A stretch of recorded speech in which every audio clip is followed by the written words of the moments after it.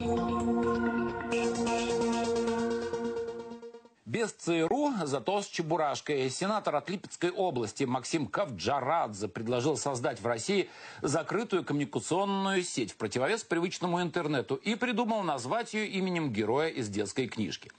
После того, как власти уже заявили о создании национальной платежной системы и своих рейтинговых агентств, открытие российского интернета уже не кажется такой уж фантастической идеей. Неужели через пару лет подростки сутками будут зависать в чебурашке? Если это будет делаться так, как в последнее время у нас делается в России, даже мы отказываемся от всего ужасного и вражьего, да, и теперь у нас будет все свое, то тогда, конечно же, я категорически против. Что такое утечка информации? Вы сами прекрасно понимаете, что э, э, уже настолько мы находимся э, в виртуальном мире, настолько информационный поток погладил людей, что обмениваясь в интернете и разведка не нужна. Утечка какой-то информации в сети – это маловероятно, потому что наши чиновники застряли еще где-то в 19 веке и чуть ли не передают свои сообщения глубины почты. Что у нас не хватает, скажите? У нас есть вся таблица Менделеева.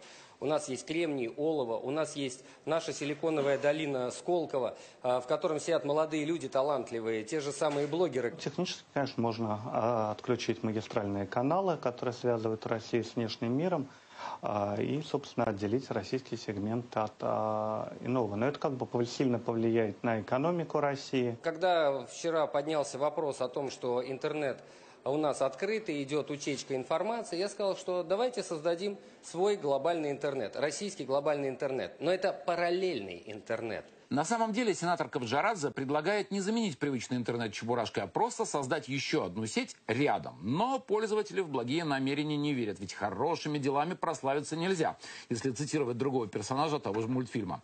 Кроме того, за последний год власти не раз пытались ограничить свободу в интернете. Только сегодня Совет Федерации проголосовал за закон, который приравнивает популярных блогеров к СМИ. Роскомнадзор пополняет список запрещенных сайтов каждый день. Неудивительно, что пользователи сети даже даже от чебурашек шарахаются в сторону. Если интернет, э, интернет закроют и вместо него сделают чебурашку, ничего хорошего к этому не приведет. Может быть, это э, какой-то очередной невнятный ответ на те санкции от Америки или от Евросоюза, которые сейчас э, против нашей страны. Кругом враги и такой вот теория занавеса, как его, мне кажется, очень актуально с точки зрения повестки, которая есть. И в этой общей там атмосфере истерии, атмосфере, в общем, вражды, очень удачно можно обрубить любые каналы. Уничтожать интернет – это вообще какая-то безумная идея. Очень странно, что мы вообще это обсуждаем на полном серьезе.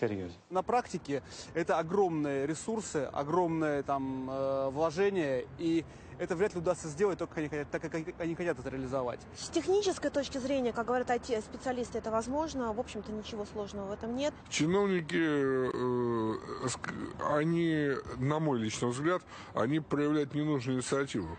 Это инициатива, которая не то что наказуема, а просто вот э, от делать.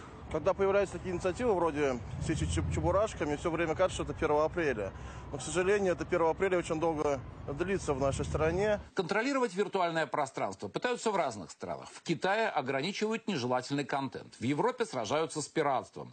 Лучше всех с задачей справилась, естественно, Северная Корея. Там просто запрещено пользоваться всемирной сетью без разрешения самого Ким Чен Ына. А для остальных есть своя национальная сеть – Кман Мён. Почти как чебурашка, только с иероглифами иероглифами. Кстати, Кван Мён переводится на русский «яркость», а вот неизвестный зверь Чебурашка получил свое имя за то, что постоянно падал. Наверное, не самое удачное название для коммуникационной сети на сленге компьютерщиков «сеть упала» означает «просто не работает». Иными словами, чебурахнулась. Я просто сказал э, Чебурашка, но потому что я вам хочу сказать, что единственный бренд... Вы же знаете, кто такой Чебурашка, да? Это... Вот, правильно. Неизвестный науки зверь.